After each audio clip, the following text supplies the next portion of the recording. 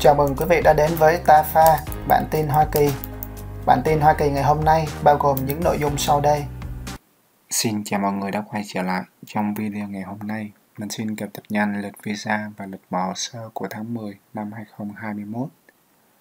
Đầu tiên là lịch visa của tháng 10 năm 2021.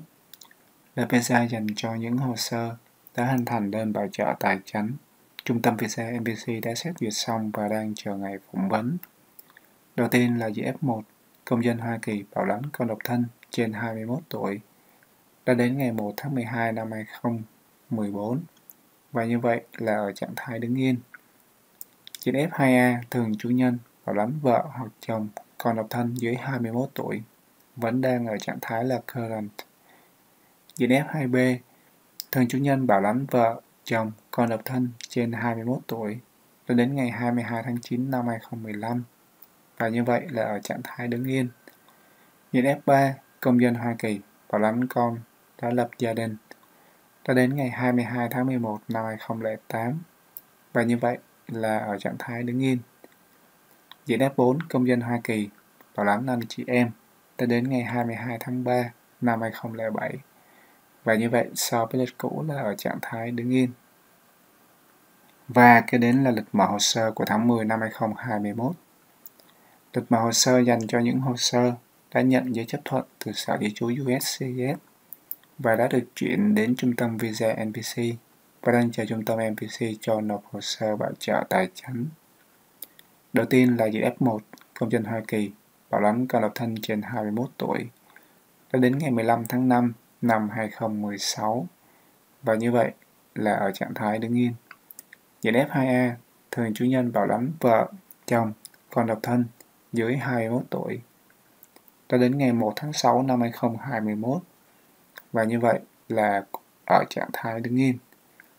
Những F2B thường chủ nhân bảo lãnh vợ, chồng, còn độc thân trên 21 tuổi.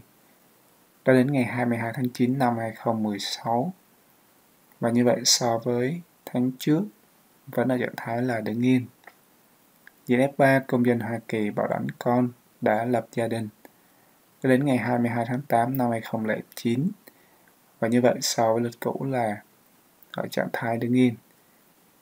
Những F4 công dân Hoa Kỳ bảo lãnh anh chị em đã đến ngày 1 tháng 10 năm 2007 và như vậy so với lịch cũ cũng đang ở trạng thái là đứng yên. Như mọi người cũng thấy thì lịch visa và lịch mở hồ sơ tháng 10 năm 2021 đều không thay đổi so với tháng trước. Ở trong video trước mình có chia sẻ về việc cập nhật mức độ ưu tiên uh, của các loại visa. Và nếu dựa theo thông tin mình chia sẻ trong video lần trước thì các diện F1, F2A, F2B, F3 và F4 thuộc diện ưu tiên mức độ 3. Mình không rõ là có phải hiện tại trung tâm visa họ ưu tiên xử lý các hồ sơ thuộc mức độ ưu tiên 1 và 2 hay không.